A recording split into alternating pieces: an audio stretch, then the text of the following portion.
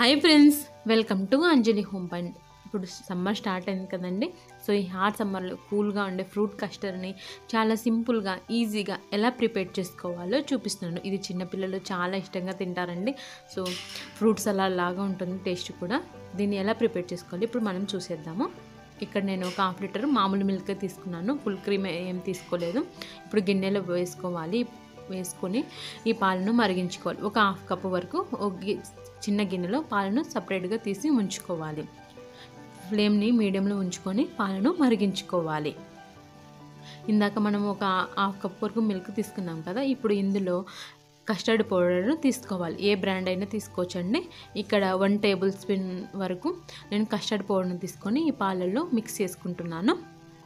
ఇక్కడ half litre milk తీసుకున్నాం కాబట్టి one spoon one full spoon తీసుకోవాలండి. వన్ టేబుల్ ఫుల్ స్పూన్ తీసుకొని ఉండలు లేకుండా ఇలా బాగా కలుపుకోవాలి పాలలో చూడండి పాలు పొంగు వచ్చాయి కదా ఇప్పుడు ఫ్లేమ్ని లోలో ఉంచుకొని ఇలా ఒకసారి బాగా కలుపుకోవాలి. పొంగు రాకుండా ఒక ఫైవ్ మినిట్స్ వరకు ఇలా పాలను మరిగించుకోవాలి. ఇప్పుడు ఇందులో మనం షుగర్ని యాడ్ చేసుకోవాలి. ఇప్పుడు నేను ఒక ఇక్కడ నేను వన్ హాఫ్ లీటర్ వరకు మిల్క్ తీస్తున్నాను కాబట్టి ఒక హాఫ్ కప్పు షుగర్ వేసుకుంటున్నాను. ఈ షుగర్ అంతా బాగా మెల్ట్ అయ్యేలాగా కలుపుకోవాలి. షుగర్ బాగా మెల్ట్ అయిన తర్వాత ఇందాక మనము పాలలో మిక్స్ చేసుకున్న కస్టర్డ్ పౌడర్ని యాడ్ చేసుకోవాలి. ఇది మనము పైనుంచి వేసుకుంటూ ఇలా గరిటెతో తిప్పుకోవాలండి. లేదంటే ఉండలు కట్టుతుంది. ఇలా ఉండలు కట్టకుండా మనము ఇలా గరిటతో గరిటెతో కలుపుకుంటూ ఉండాలి. ఇలా లో ఫ్లేమ్లోనే ఉంచుకొని కలుపుకుంటూ ఉండాలి. చూడండి ఈ కన్సిస్టెన్సీ వచ్చేంత వరకు అంటే టూ టు త్రీ మినిట్స్ వరకు ఇలా కలుపుకొని స్టవ్ ఆఫ్ చేసుకొని గిన్నెను కిందికి దించుకోవాలి. గిన్నెని కిందికి దించుకున్న తర్వాత రూమ్ టెంపరేచర్కి వచ్చేంత వరకు చల్లారబెట్టుకోవాలి. ఇది పూర్తిగా చల్లారిన తర్వాత చూడండి ఈ విధంగా కొద్దిగా తిక్కగా తయారవుతుంది. ఇప్పుడు మూత పెట్టుకొని ఫ్రిడ్జ్లో ఉంచుకోవాలి. ఒక ఎయిట్ అవర్స్ వరకు ఉంచుకుంటే సరిపోతుంది. డీప్ ఫ్రిడ్జ్లో అవసరం లేదు ఓన్లీ ఫ్రిడ్జ్లో ఉంచుకుంటే సరిపోతుంది. ఒక ఎయిట్ అవర్స్ తర్వాత చూడండి ఇది లిక్విడ్ కొద్దిగా గట్టిపడింది. ఈ విధంగా ఉంటుంది కన్సిస్టెన్సీ ఇప్పుడు మనం ఇందులో ఫ్రూట్స్ని యాడ్ చేసుకోవాలి. వన్ ఒక కప్ వరకు నేను దానిమ్మ గింజల్ని యాడ్ చేసుకుంటున్నాను. అలాగే బనానాని యాపిల్ని గ్రేప్స్ని ఇలా చిన్న చిన్న ముక్కలుగా కట్ చేసుకొని యాడ్ చేసుకోవాలి. చిన్న చిన్న ముక్కలుగా వేసుకుంటే పిల్లలు కూడా బాగా ఇష్టంగా తింటారు. పెద్దగా కట్ చేసి వాళ్ళు తీసి అన్నీ పక్కన ఉంచుతారు ఫ్రూట్స్ అన్నీ. సో ఇలా చిన్న చిన్న ముక్కలుగా కట్ చేసుకోవాలి.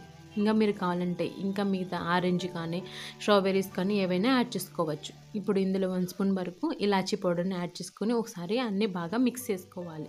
ఇలా మిక్స్ చేసుకున్న తర్వాత మీరు ఫ్రిడ్జ్లో వన్ వరకు వరకు ఉంచుకొని అయినా సర్వ్ చేసుకోవచ్చు. లేదంటే డైరెక్ట్ అయినా సర్వ్ చేసుకోవచ్చు.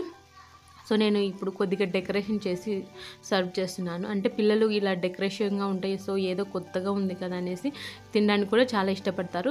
అండ్ ఇది హెల్తీ రెసిపీ కూడా అండి. పిల్లలకు రోజు పెట్టినా కూడా వాళ్ళ హెల్త్కి కూడా చాలా మంచిది.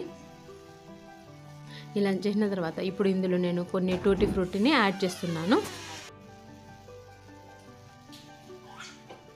అంతేకాకుండా కొద్దిగా ఫ్రూట్స్ని చిన్న చిన్న ముక్కలుగా కట్ చేసుకుంటున్నాను గ్రేప్స్ని. డెకరేషన్ చేయడానికి అలాగే డ్రై ఫ్రూట్స్ కూడా యాడ్ చేస్తున్నాను. మీరు వద్దనుకుంటే కనుక స్కిప్ చేసుకోవచ్చు.